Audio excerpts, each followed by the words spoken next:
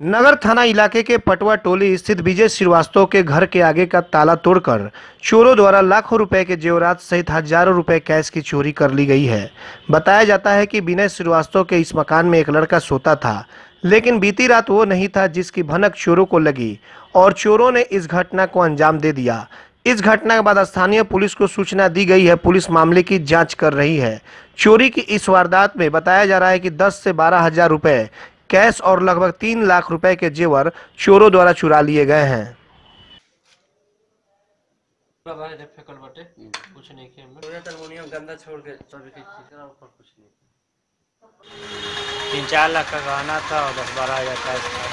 किस तरह से चोरी घर का मेन गेट का ताला तोड़ के। आई थी? पुलिस आई थी। एफ़ आई आर हुआ?